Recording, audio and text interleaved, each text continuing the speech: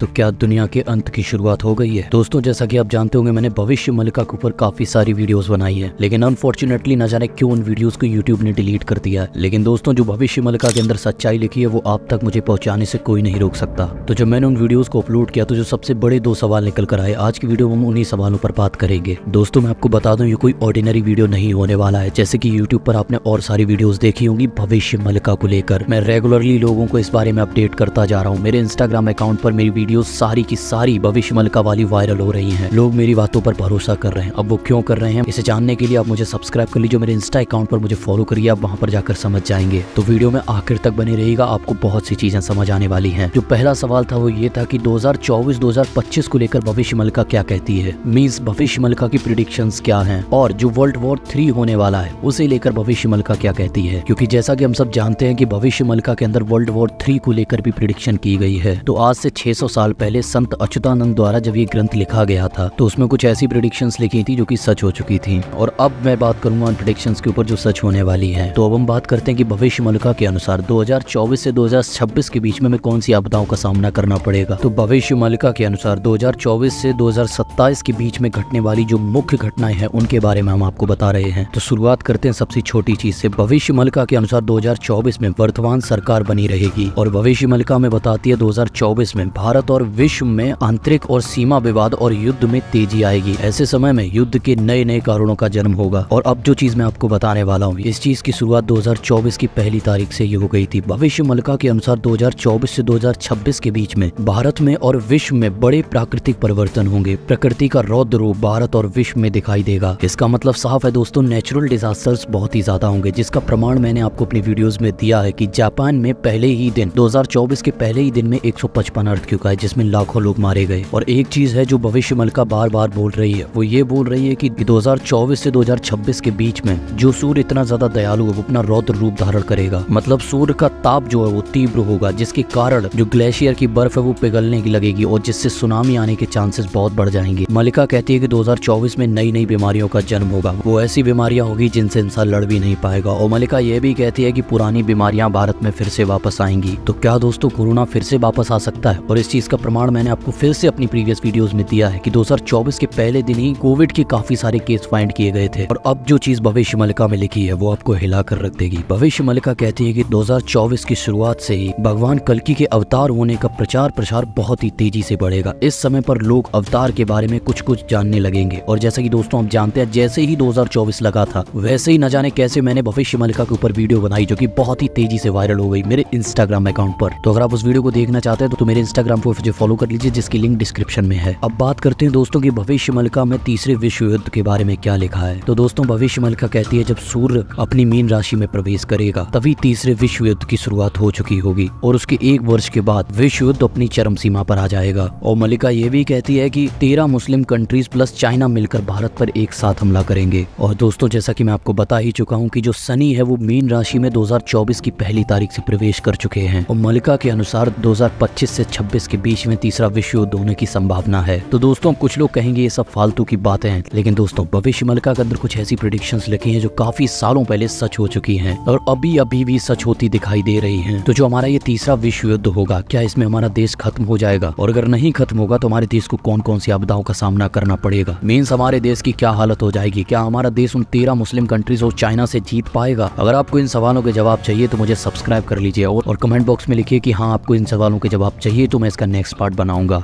लेकिन दोस्तों, तब तक आप मुझे कमेंट बॉक्स में बताइए, आप भविष्य मलिका के ऊपर कितना विश्वास करते हैं? क्योंकि कुछ लोगों का ऐसा कहना है कि सिर्फ़ ये फालतू की बातें हैं, लेकिन कुछ लोग इस पर बहुत ही तेज़ी से बिलीव कर रहे हैं, जिन्हें ऐसा दिखता जा रहा है कि भविष्य मलिका की कही हुई बातें सच होती जा रही हैं। तो दोस्तों, अगर आपको वीडियो अच्छा लगा हो तो चैनल को सब्सक्राइब कर लीजिए, और अगर आप ऐसी इंटरेस्टिंग वीडियो चाहते हैं तो कमेंट करके ज़रूर बताएगा मैं ऐसी वीडियो आपके लिए रेगुलरली लाते रहते हैं। तो चलिए दोस्तों, बहुत ही जल्द मिलते हैं अपनी अगली वीडियो में, तब तक के लिए चैनल को सब्सक्राइब कर लीजिए, वीडियो को लाइक कर दीजिए, नाम याद रखिए, ट्रेंडी शिवा।